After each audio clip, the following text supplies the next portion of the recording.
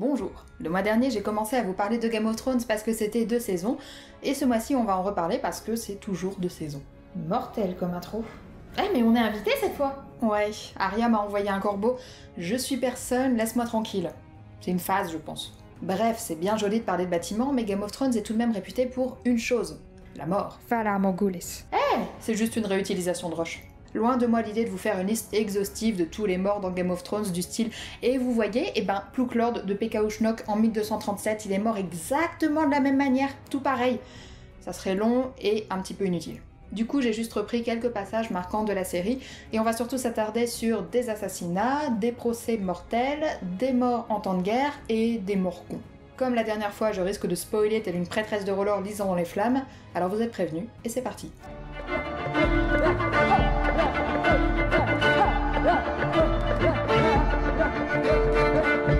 Deux assassinats dans la série ont particulièrement marqué les esprits, parce qu'ils produisaient des retournements de situation assez foufous, mais aussi ils évoquent des événements historiques bien chez nous. Le premier, c'est l'assassinat de Jon Snow. Pour la faire courte, John est nommé Lord Commandant de la garde de nuit grâce à la manière dont il a défendu le mur contre l'attaque des sauvageons menée par Mance Raider. Et aussi grâce à ses copains qui font bien campagne pour lui. Avez-vous entendu parler de Jon Snow? Malgré le silence des corbeaux. Bref, pif pouf, le voilà commandant, sauf que ça ne plaît pas à Alistair Thorne déjà, qui n'a de toute façon jamais pu le blairer. Sa décision, peu après son élection, de faire franchir le mur aux sauvageons restants pour s'allier à eux et protéger plus efficacement les sept couronnes contre les marcheurs blancs, choque pas mal de monde et le rend impopulaire auprès d'une partie de la garde. En plus, il propose de filer aux sauvageons des terres dans la région du Don qui ne se privait pas de piller allègrement auparavant. Samuel Tarly est en route vers Villevieille, Mestremon est mort, slash, parti aussi selon si vous préférez les livres ou la série, et ça laisse pas mal de place à ses détracteurs pour un bon petit assassinat. Dans la série, cet assassinat est particulièrement mis en scène. Oli, le protégé de John, puisqu'il avait nommé son intendant personnel, l'attire dehors jusqu'à un poteau affichant traître. Il reçoit ensuite un coup de couteau d'Alistair Thorne, puis des conjurés, chacun leur tour, avant de finir par Oli, chacun déclarant pour la garde en faisant leur affaire. Des gars plutôt rancuniers. Dans cette mise en scène, on retrouve très clairement une référence à l'assassinat de Jules César. Je vais pas m'attarder sur cette comparaison-là parce que Nota Bene en parle déjà dans l'une de ses vidéos, dont je placerai le lien dans la description, mais pour la faire courte, César est assassiné en 44 avant Jésus-Christ, notamment parce que ses détracteurs pensaient qu'il risquait de rétablir la monarchie à Rome. Je peux. La monarchie était abolie à Rome depuis des siècles et nous en gardions un très mauvais souvenir. Alors quand Jules César s'est déclaré dictateur perpétuel, certains ont vu rouge. Il est aussi assez proche du groupe des populares qui sont plutôt pour la solidarité, en opposition au groupe des optimates qui sont attachés à leurs privilèges et attachés au maintien d'une vraie oligarchie de droit divin avec un S. Bref, brouf, tout ça fait qu'il a pas mal d'ennemis à Rome, et ses ennemis ourdissent un complot de 60 à 80 conjurés, mené par Caius Cassius Longinus, et parmi lesquels on trouve le fils adoptif de César, Brutus. Le 15 mars 44 avant Jésus-Christ, ils sont une trentaine à attendre César au Sénat où le port d'armes est interdit. Ils s'assemblent autour de lui, l'immobilisent et l'assassinent de 23 coups de poignard avant de se disperser. Il s'agit d'un assassinat pas super préparé, pour la République qui ne fait de toute manière pas de vieux os après ça, et pour leurs intérêts personnels aussi. Les conjurés meurent tous dans les trois années qui suivent, et pas de leur belle mort. Bon, Jon Snow s'est fait assassiner, Jules César s'est fait assassiner, plein d'autres gens aussi. Où est la référence? Je sais pas moi Va voir ceux qui font les fouilles la mise en scène. Dans les deux cas, on a un groupe de conjurés qui prennent leur ennemi par surprise et qui lui plantent chacun leur tour un coup de poignard dans le ventre. La référence est particulièrement marquante via le personnage de Holly que John avait pris sous son aile pour en faire potentiellement son successeur, et qui rappelle donc Brutus. Fala Morgulis. L'autre assassinat plutôt marquant concerne Rob Stark lors des Noces pourpres ou Red Redding. Je passe un peu plus vite sur les événements cette fois-ci parce que contrairement à ma vidéo sur les monuments dans Game of Thrones, qui a un background assez peu développé dans la série et disséminé dans les livres, il est fort probable que vous vous soyez pris les noces pourpres en pleine face. Et de même pour les autres événements que j'aborderai ici, qui sont déjà assez clairs rien qu'en regardant la série. Pas comme l'histoire de la construction du phare de Vieille. Du coup, Rob avait scellé une alliance avec les Frey pour traverser leur pont avec son armée. Mais en échange, il devait épouser une des filles ou petite fille Frey, il y avait le choix. Pas de bol pour le vieux Walder, il tombe amoureux de Talissa Meyer dans la série et de Jane Westerlund dans les livres. À partir de là, il est bien obligé de frayer à nouveau avec les Frey, parce qu'il a toujours besoin de leurs troupes et de leurs ponts. Alors à la place, il décide que son oncle Edmure, héritier des Tunis, épousera une fille Frey.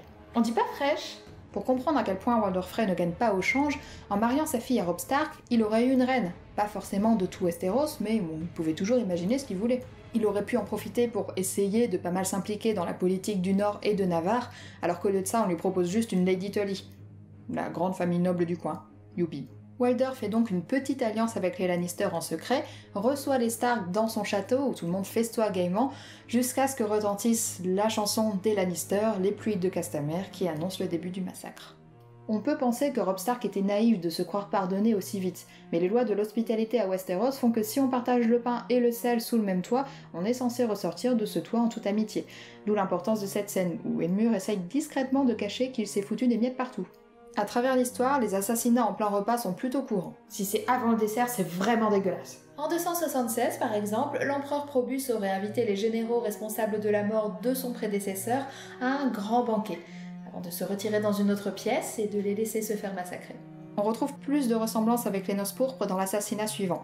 En 749, Abu al-Abbas aimerait devenir calife à la place du calife. À cette époque, c'est la dynastie omeyyade qui règne sur l'empire d'islam. Mais qu'à cela tienne, il se fait proclamer et force le calife omeyyade à fuir en Égypte. Dans une offre de réconciliation, en 750, il invite toute la famille omeyyade à un grand banquet à Damas. Au cours de ce repas, un poète, Sodaïf, est invité et déclame ne te laisse point abuser par la conduite et les démonstrations de certains personnages distingués.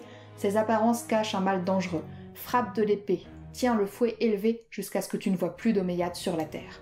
Et là, c'est le massacre. Ce procédé nous rappelle pas mal les pluies de Castamère qui sont utilisées pour annoncer le début du massacre des Stark. Chez les Omeyyades, un seul parvient à s'enfuir en Espagne et fonde l'émirat omeyyade de Cordoue, mais à Damas, le pouvoir reste aux mains des Abbassides, puis d'autres familles, mais plus jamais des Omeyyades. Le dernier assassinat dont je vais parler utilise aussi ce procédé de T'entends cette musique qui t'annonce que tu vas prendre cher.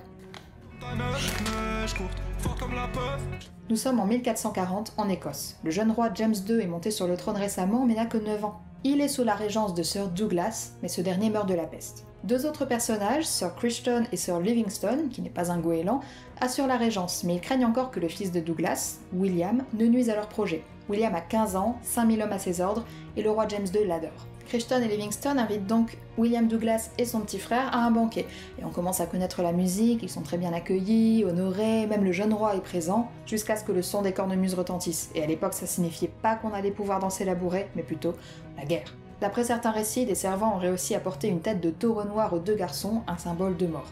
Le sinistros Une mise en scène plutôt explicite, quoi, au cas où ils n'auraient pas bien compris alors que le jeune roi James II est plutôt pas d'accord avec ce qui se passe, mais pour rappel, il a que 9 ans, les deux Douglas sont saisis par des gardes, emmenés à l'extérieur pour y être exécutés. Ce dîner reste connu comme le Black Dinner ou Black Douglas. À ne pas confondre avec le Black Pudding. C'est du boudin. Plusieurs autres assassinats d'autres ont pu influencer George Martin. On pourrait parler d'une tentative de massacre pendant un mariage à Hayworth Moor, du massacre de Glencoe, du massacre de Stockholm. Bref, protégez-vous, mangez seul. Fala Mogulis. Tyrion Lannister a ce manque de bol de subir deux procès au cours de la série tout en étant innocent à chaque fois. Son manque flagrant de karma nous permet d'aborder la manière dont sont gérés les procès dans l'univers de Game of Thrones et surtout comment ils sont souvent réglés. Le premier procès de Tyrion a lieu dans la saison 1 lorsqu'il est accusé de la tentative de meurtre contre Bran Stark. Il est alors capturé par Kathleen Stark et conduit en prison sans passer par la case départ, aux Ergués, pour être jugé par Liza Harim. Le procès n'est pas super équitable. Tyrion n'a que sa parole pour le défendre et sent qu'il risque de finir au fond du trou. Et au fond de ce trou-là, il n'y a pas vraiment de fond. Du coup, il invoque le pif-pouf c'est pas moi des procès médiévaux, Lord Ali. Ici, un duel judiciaire qui permettra aux dieux de décider qui est le vrai coupable. Et effectivement, coup de bol, c'était pas lui. La deuxième fois, il est jugé dans le cadre de l'assassinat de Geoffrey Baratheon Lannister, ça dépend. Encore un assassinat pendant un mariage, bravo les valeurs. Ouh là là, c'est la décadence. Geoffrey était un petit con, même pas un vrai barathéon. Il aimait les prostituées simplement pour les igouiller. Oléna elle préférait un gendre plus tendre, aussi lui offrit un peu de vin pour le détendre. Mais puisque Tyrion était publiquement en froid avec son neveu, que Cersei le déteste, et que c'est un prétexte parfait pour se débarrasser de ce Lannister un peu gênant, on décide que c'est lui le coupable. Sentant qu'il risque d'être condamné et provoqué par le témoignage de Shea à son encontre, il demande à nouveau un duel judiciaire en espérant que ce qui a déjà marché une fois marchera une deuxième fois. Pas de chance cette fois, son champion, Oberyn, est tout aussi préoccupé par sa vengeance personnelle et termine en pastèque. Si on s'était trouvé dans d'autres mondes, de toute façon, ce duel n'aurait probablement pas pu avoir lieu de cette manière. Le déséquilibre entre l'armure de la montagne et celle d'Oberyn et le recours au poison par ce dernier aurait été interdit. Les armures, l'arme et même l'aiguisage de la lame étaient souvent contrôlés et devaient être le plus identiques possible. et pas le droit de faire pouce. Dans Game of Thrones, les duels judiciaires sont une alternative à une forme de procès plus traditionnelle, avec des juges et des témoins. L'accusé peut demander à être plutôt jugé par un duel judiciaire, et on sent que ça se produit surtout quand il sent que le procès ne va pas tourner en sa faveur. Il y a quand même quelques restrictions. L'accusé doit appartenir à la noblesse. Accusé et accusateur peuvent décider de se battre eux-mêmes ou désigner un champion, qui doit être volontaire. Le combat peut exceptionnellement prendre la forme d'une grosse baston à 7 contre 7, judicieusement appelé le jugement des 7, rapport à la religion locale. Durant le Moyen Âge, il existait plusieurs moyens de rendre la justice. Celle-ci se basait sur le serment et les ordalies, qui pouvaient consister en rester debout sur une croix le plus longtemps possible, tenir des charbons ardents, plein de joyeuseté qui visait à prouver l'innocence de l'accusé qui, jusqu'à preuve du contraire, était coupable. Logique. Les duels judiciaires correspondent aux ordalies bilatérales, qu'on appelle aussi duellum bellum. L'accusé et l'accusateur doivent alors s'affronter devant les autorités laïques et que le plus innocent gagne. Cette pratique est pourtant de plus en plus critiquée par l'Église, qui y voit une instrumentalisation de la justice divine. Les ordalies sont interdites en 855 par le Concile de Vienne, même si elles restent en vigueur jusqu'au XIIIe siècle. Elles sont ensuite interdites par Louis IX en 1258 et le droit romain réapparaît peu à peu. Merci de reconnaître notre supériorité. Dans la série, on retrouve le même schéma puisque Tommen interdit les duels judiciaires juste avant le procès de sa mère. Il est influencé par le grand moineau qui voudrait rétablir une vraie justice divine. Ça pourrit un peu les plans de Cersei. Si vous aimez les Ordali, Angle Droit avait aussi fait une vidéo sur le sujet, donc je mettrai le lien en description, parce que le partage c'est beau. On en arrive donc au Morcon. Et pour ça, je vais pas m'attarder sur certains personnages décédant sur leur toilette, mais plutôt vous parler de cochons et autres porcidés. Robert Baratheon adore chasser. Il adore aussi l'alcool et ça arrange bien Cersei. En passant par son écuyer, Lancel Lannister, elle fait empoisonner son vin pour faire passer sa mort pour un accident de chasse. Seulement dans l'histoire, Cersei et Lancel ne sont pas les seuls responsables de sa mort. Redonnons la place qui lui est due au sanglier. Sous l'emprise de son vin empoisonné, Robert Baratheon voit ses talents de chasseur bien diminuer, mais s'éloigne tout de même de sa troupe pour tenter de mettre à mort la bête. Pas de bol, le sanglier ne se laisse pas avoir si facilement et embroche Robert avant de mourir. Baratheon à la broche. Le sanglier n'est donc pas le seul responsable, mais même si des doutes sur la mort du roi apparaissent très tôt, la version officielle est bien l'accident de chasse. Ces récits de rois tués par des cochons sont assez courants dans l'histoire, les nobles pratiquant la chasse depuis bien longtemps, en tant que loisir de riches et en tant que symbole de puissance. C'est le cas de Louis V, qui meurt en 987 écrasé par son propre cheval après que le sanglier qu'il essayait de chasser ne lui fonce dessus. Sa mort met fin à la dynastie des Carolingiens, son successeur est donc Hugues Capet. Le destin porcin s'acharne ensuite sur les Philippes. Philippe de France, le fils de Louis VI le Gros, était destiné à devenir roi après la mort de son père et était déjà associé au pouvoir dès l'âge de 13 ans. Cette préparation à l'accession au pouvoir ne dure malheureusement pas longtemps. Le 13 octobre 1131, alors qu'il se promène à cheval dans Paris, son cheval croise le chemin d'un cochon plutôt nerveux, se cabre, fait tomber le prince et l'écrase sous son poids. Philippe meurt peu après et le trône revient ensuite à son petit frère. Selon certains historiens, et notamment Philippe Pastoureau qui a écrit un livre sur le sujet, la mort du prince a plusieurs conséquences sur le royaume de France. Elle place sur le trône le jeune Louis VII qui était destiné à devenir ecclésiastique, comme c'était souvent le cas des seconds-nés. Il connaît donc mal l'exercice du pouvoir et ça se ressent pendant son règne, mais ça serait une histoire trop longue à raconter. En plus, il y a déjà un épisode de confession d'histoire sur le sujet. Décidément, c'est la journée des partages. Michel Pastoureau émet aussi la thèse, qui paraît vraisemblable pour plusieurs historiens, que la mort de Philippe de France par un cochon, animal considéré comme sale et impur, soit la raison pour laquelle son père choisit par la suite comme emblème la fleur de lys et le bleu, symbole de la Vierge, pour essayer de faire oublier ce passage un peu honteux. Quel martyr Quand personne ne peut plus vous sentir Disgrâce infâme Enfin, quelques générations plus tard, Philippe le Bel se trouve lui aussi en pleine partie de chasse, en 1314, lorsqu'encore une fois, le sanglier décide de charger son cheval, le fait tomber et paf le roi. Il est blessé, mais surtout se retrouve soudain incapable de parler et pris de maux de ventre, les médecins n'y comprennent rien. Il meurt quelques semaines plus tard et les chroniqueurs sont partagés sur la responsabilité de cette maladie étrange ou du sanglier. Tu m'étonnes qu'avec tout ça, le sanglier soit associé au diable. Avec nos connaissances actuelles, il est possible que Philippe le Bel soit en fait mort d'un AVC. Fala Morgulis. Game of Thrones, c'est aussi la bagarre. Et l'une des plus marquantes est la bataille de la Nera qui oppose l'armée de Stannis aux soldats de Port-Réal. Stannis vient de tuer son frère Renly de récupérer tous ses bannerets au passage et attaque Port-Réal par le fleuve. De son côté, Tyrion, nommé bain du roi, prépare très minutieusement la défense de la cité.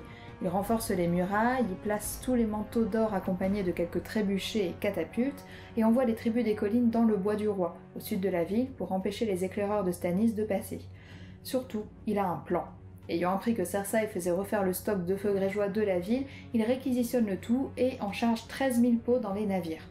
Une chaîne bloque l'entrée du fleuve pour la flotte de Stannis, et celle-ci n'a pas le temps de réagir lorsqu'elle constate que les navires de la capitale répandent un drôle de liquide vert sur leur passage. Boum La majorité de la flotte est détruite et le reste débarque finalement à la porte de l'Agadou mais est repoussé. Cette bataille et surtout l'intervention du feu grégeois nous ramènent chez les Omeyyades dont on avait vu la fin un petit peu plus tôt et surtout au conflit qui oppose le calife Suleiman à l'empereur byzantin Anastase II. Au début du 8e siècle, le conflit entre les deux empires est ouvert depuis un moment et le calife Suleiman prépare un nouveau siège de Constantinople, la ville à prendre. Ça va, ce n'est pas Byzance non plus. Bah si, faut te mettre à jour un peu. Pas de bol pour le calife, Anastase est au courant. Brochant est au courant. Tel un Tyrion des temps modernes, il fait rehausser les murailles de la ville, prévoit des stocks de nourriture et chasse une partie de la population, ce qui est moins sympa quand on sait que les armées de Suleiman avancent en pillant tout sur leur passage. Au printemps 716, le siège commence et les troupes du calife sont beaucoup plus nombreuses que celles de Constantinople. La ville n'a plus aucun moyen de ravitaillement et semble perdue, mais quelle est cette lueur à l'horizon? Gandalf? Le feu grégeois. Les Byzantins mettent le feu au navire du calife et c'est le chaos. Cette victoire permet aux Byzantins de gagner du temps, de s'allier avec les Bulgares pendant l'hiver 717 et de repousser définitivement les troupes arabes de la région. Pour l'empereur Anastase, par contre, le destin est moins sympa. Une révolte de l'armée le contraint à se retirer du pouvoir avant d'être décapité en 719. En même temps, si on suit le lien avec Tyrion, on ne peut pas dire que Port-Réal lui soit très reconnaissant non plus d'avoir défendu la ville. Le feu grégeois est donc une arme connue de l'Antiquité et du Moyen Âge. On le retrouve dès le 9e siècle avant Jésus-Christ chez les Assyriens. On le retrouve ensuite pendant la guerre du Péloponnèse, qui oppose en gros les Athéniens et les Spartiates, puis chez les Byzantins à partir du VIe siècle. Il est aussi présent en Occident au XIe et XIIe siècle et était probablement composé de mélanges de résine de pin, de chaux vif, de soufre, de salpêtre, ou peut-être aussi d'oxyde de calcium ou encore de pétrole. Sa composition exacte reste inconnue et ça explique probablement sa disparition progressive. Les armées arabes et bulgares qui parviennent à s'emparer du feu grégeois n'arrivent pas à reproduire la recette, et la diffusion progressive de la poudre à canon à partir du XIVe siècle rend le secret de la recette du feu grégeois moins important finalement. Il n'est plus mentionné après la prise de Constantinople de 1453. Valar Morgulis. Ça veut dire quoi en fait? Memento mori. Si on résume notre propos très simplement jusqu'ici, les gens meurent. Et ce fait connu de tous est résumé dans l'univers de Game of Thrones par cette phrase simple Valar Morgulis. Cette expression en haut valérien signifie tout homme doit mourir et semble être une devise courante dans tout le continent des sauces puisqu'on la retrouve aussi bien à Bravos où la réponse habituelle est Valar Dohaeris Tout homme doit servir. que dans l'est du continent puisque Daenerys et Missandei semblent très bien la connaître. Pour l'anecdote, cette phrase peut aussi se traduire par les puissances de la sorcellerie. Dans l'œuvre de Tolkien, Valar signifie puissance en Kenya et Morgul signifie sorcellerie en Sindarin, deux des langues de la Terre du Milieu. Frodon Si on revient au sens premier de cette phrase, elle peut être perçue comme une incitation à prendre conscience qu'on va tous mourir un jour.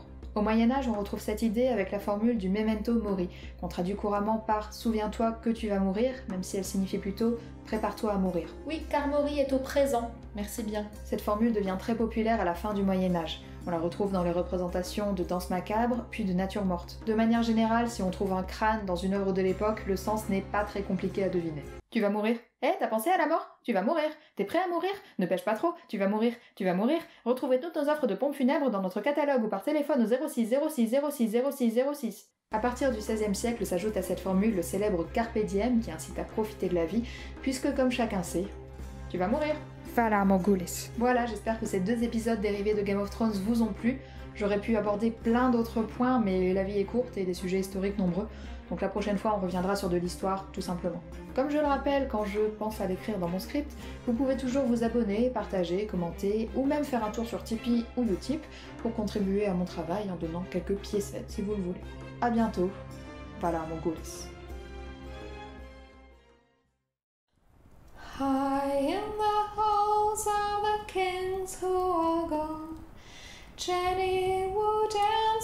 her ghosts, the ones she had lost and the ones she had found, and the ones who had loved her the most, the ones who'd been gone for so very long.